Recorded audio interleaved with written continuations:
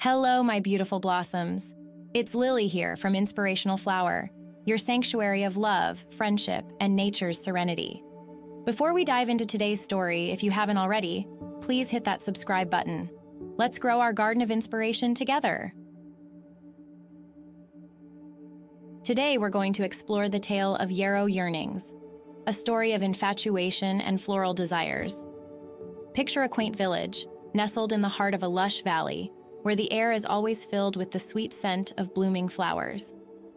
Our protagonist is a young woman named Ivy, a florist with a heart as tender as the petals she nurtures. Ivy had a particular fondness for the yarrow flower, a humble bloom with a rich history of healing and protection. But for Ivy, the yarrow held a different significance. It was the symbol of her unspoken love for a young man in the village, a blacksmith named Rowan. Every day, Ivy would watch Rowan from her flower shop, her heart fluttering like a butterfly amongst her flowers. She yearned to express her feelings, but fear held her back. So she poured her love into a single yarrow plant, whispering her desires to the delicate petals, hoping that nature would carry her message to Rowan.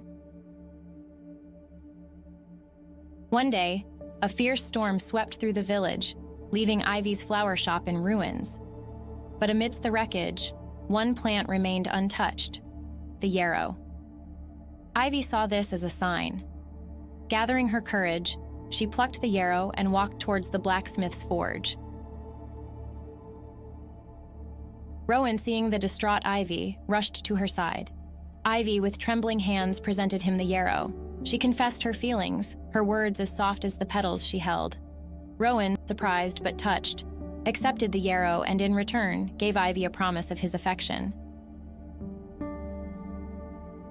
From that day forward, the yarrow became a symbol of their love, a testament to Ivy's courage and the power of expressing one's feelings. It's a reminder for us all that love, like flowers, needs to be nurtured and expressed to truly bloom. And that, my beautiful blossoms, is the tale of Yarrow Yearnings, a story of love, courage, and the power of nature. Remember, like Ivy, don't be afraid to express your feelings. Let your love bloom like the yarrow in Ivy's garden. Thank you for joining me today. If you enjoyed this story, don't forget to hit the like button and share it with your loved ones. Let's spread the seeds of love and inspiration together. Until next time, keep blooming.